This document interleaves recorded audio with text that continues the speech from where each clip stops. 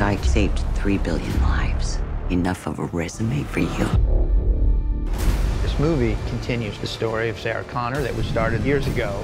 Knowing the certainty of the future to come, this character is a warrior for humanity against machines.